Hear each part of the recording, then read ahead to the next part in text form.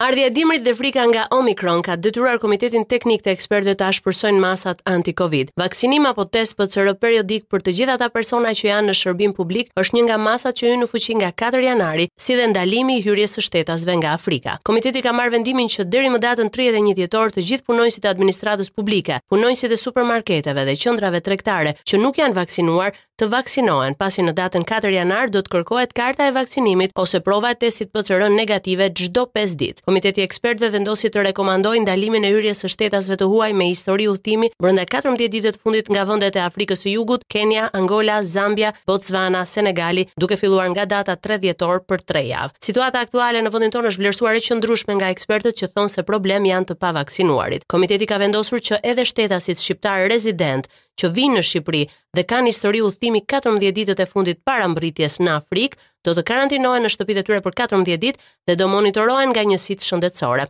Ora policore nga 23 deri në 6 të mëngjesit dhe mbajtja e maskave në mjediset e mbyllura janë lënë sërish në fuqi. Kryeministri Edi Rama ka bërë dozën e tretë të vaksinës anti-Covid dhe u ka bërë thirrje të gjithë qytetarëve që të vaksinohen kundër koronavirusit. Duke folur për gazetarët nga ambientet e stadiumit Air Albania, Ai paralajmëroi se mund të vijë dita që nëpunësit civilë dhe pronarët e dyqaneve mund të mos lejohen të shkojnë në punë nëse nuk kanë pashaportën anti-Covid. Edhe për qytetarët që vijnë në Shqipëri, mund të vijë momenti sipas tij, që do të duhet të jenë të vaksinuar për të hyrë në vendin tonë. Për studentët, Rama bëri të njëjtin paralajmërim se mund të mos lejohen të hyjnë në auditore. Kreu i qeverisë sulmoi të gjithë ata persona që janë kundër vaksinimit dhe sipas tij, bëjnë teori konspiracioni. Kuptoj dot se si në shekullin e njëzet e një nuk mund t'i besohet shkencës, nuk mund t'i besohet autoriteteve, por u besohet disa sharlatanëve dhe disa delirantëve nëpër internet, që shpërndajnë gjithfarë teorish konspiracioni. Si ka mundësi që kjo të jetë një lojë në kurriz të gjithë planetit dhe asnjë gazetë, asnjë televizion, asnjë kanal serioz informimi të mos flasë. Pra, u është mbyllur goja të gjitha mediave të botës, nga Amerika në Australi e deri në Islandë, Dhe u është hapur goja atyre që s'kanë asnjë lidhje me shkencën, s'kanë asnjë lidhje me humanizmin, nuk kanë asnjë lidhje me shëndetin publik. U është mbyllur goja apo më saktë po flasin për t'u vaksinuar gjithë akademitë e botës, edhe po flet kundër vaksinës Një lum konspiracioni nëpër Facebook e nëpër internet. Kjo është skandaloze dhe është e turpshme. Mbi të gjitha është të fyesh inteligencën tënde dhe në vend t'i besosh shkencës, në vend t'i besosh atyre që janë faktet përpara nesh, që Humbasin jetën njerëzit pse nuk vaksinohen, ndërkohë që ata që vaksinohen edhe kur infektohen, se vaksina nuk të mbron nga infektimi, vaksina të mbron nga vdekja.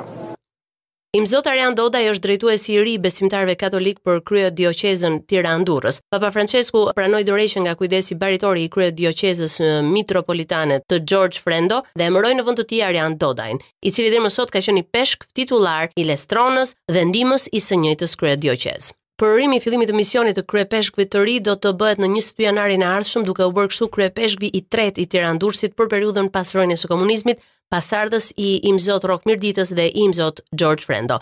Emërtimi i Dodajt u përshëndet dhe nga kryeministri Rama që vlerësoi zgjedhjen në këtë detyrë të një shqiptari të lindur dhe rritur në Shqipëri. Mesazhe urimi kanë bërë edhe presidenti Meta dhe kreu i Partisë Demokratike Basha.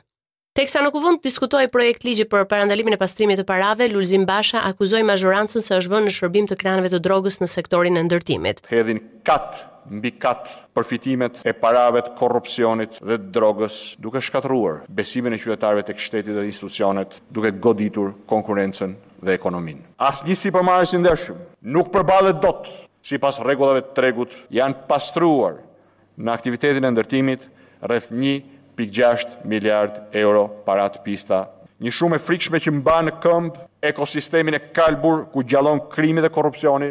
Këto akuza të kreut të opozitës u hodhën poshtë nga Ministria e Financave e cila kërkoi të nxjerrë aktet nënligjore për vendimin e Këshillit të Ministrave për vjeljen e gjobave në rast të pastrimit të parave. Opozita ka kërkuar sqarime nga kryeministri Rama për nismën e Ballkanit të Hapur, duke e cilësuar këtë projekt të presidentit serb Aleksandar Vuçiç. Deputeti Tritan Shehu e cilësoi një nismë të rrezikshme që mënjanon interesat e Kosovës, por kryeministri Rama, i thirrur në interpelancë për këtë çështje, sqaroi se Ballkani i Hapur nuk zëvendëson aspak procesin e Berlinit. Berlini i Hapur nuk është as zëvendësim, as tjetërsim i procesit të Berlinit, apo i procesit të integrimit të BE-së. Ballkani i Hapur është një mekanizëm për të jetësuar procesin e Berlinit dhe për të përshpejtuar procesin e integrimit, ka thënë ai. Open Balkan sipas kryeministrit është një kuadër rregullator i ndërtuar mbi katër liritë e Bashkimit Evropian, atë të lëvizjes së njerëzve, mallrave, kapitaleve dhe shërbimeve.